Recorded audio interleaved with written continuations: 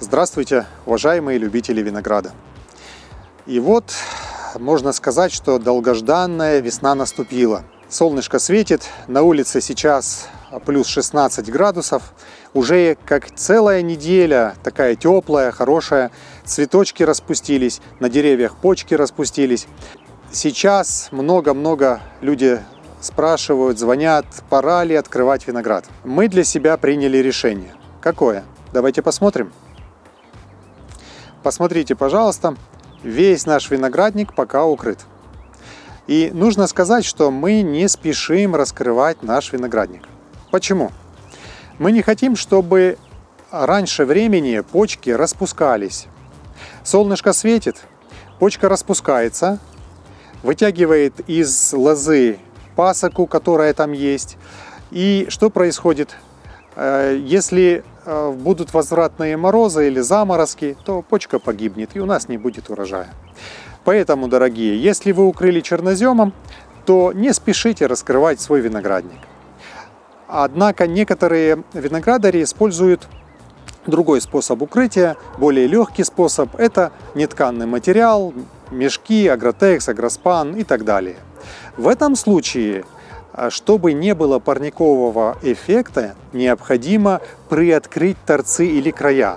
Получается, если мы сделали парничок, в 2-3 раза температура увеличивается под парником. И представьте, ваши почки могут запреть. Чтобы этого не происходило, просто необходимо раскрыть, чтобы снизу задувал воздух, ветер, и лоза была сухая и не запривала ничего. Скорее всего, мы раскроем наш виноградник где-то в первых числах или на первой декаде апреля. Но опять-таки мы посмотрим по погоде. Почему мы не хотим спешить э, с раскрытием э, наших кустов? Из школьной программы все знают, вода замерзает при температуре минус 1 или 0 градусов. Представьте себе, если сейчас мы раскроем, росяные корни, все равно земля прогревается до плюс 10. Росяные корни начинают работать.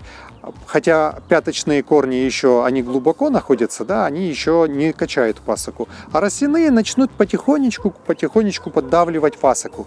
Почки начинают просыпаться. И в одно неподходящее время, как обычно, будут возвратные заморозки или морозы. И мы потеряем плодоносящие побеги и почки. Чтобы этого не происходило, давайте немножко подождем и раскроем свой виноградник чуть позже. Для нас это будет, скорее всего, э, это апрель месяц первой декаде. Ну, если вы не знаете, чем заняться сейчас, например, вы можете э, натянуть проволоку, если она плохо натянута у вас, посмотреть, если у вас есть капельный полив, в каком он состоянии. Э, также вы можете подготовить э, для себя химические препараты заказать, где вы заказываете. То есть есть еще много-много других э, дел, чем можно заниматься сейчас. Кто-то, может быть, использует подвязочники, ленты, секаторы и так далее, и так далее. То, что можно делать, делайте уже сейчас. Однако виноградник мы не спешим раскрывать. Мы заканчиваем нашу э, короткую видеосъемку. Если вам понравился этот ролик, подписывайтесь на наш канал, ставьте лайки. Весна только начинается, и нам еще есть много чего вам рассказать и показать. Будьте здоровы!